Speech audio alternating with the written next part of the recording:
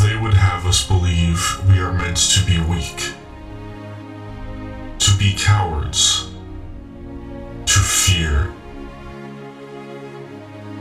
We are all born feeble and weak, but we do not have to stay that way.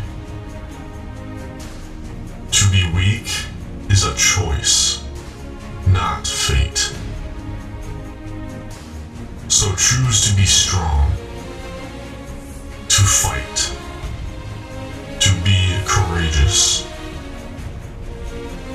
Because the time to be strong is now.